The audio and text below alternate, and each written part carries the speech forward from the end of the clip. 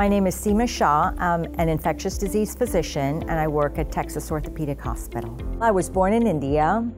I lived in Trinidad and Tobago until I was 10 years old. After that, we moved to Caracas, Venezuela, and I lived there until I was 12. Then we moved to Puerto Rico. I went to high school in Puerto Rico. I went to college in California and then came back for medical school, then left again to Houston to do my internship and residency at Baylor.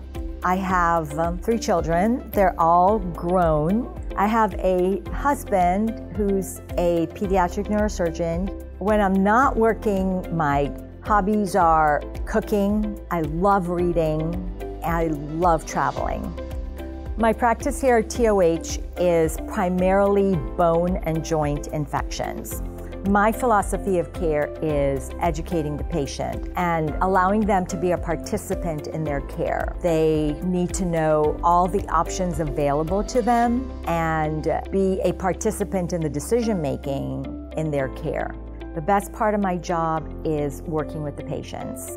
The other thing I really enjoy about the job is being able to work as a team, working with the other physicians, the nurses, the case managers, the other people involved in the, care of the patient.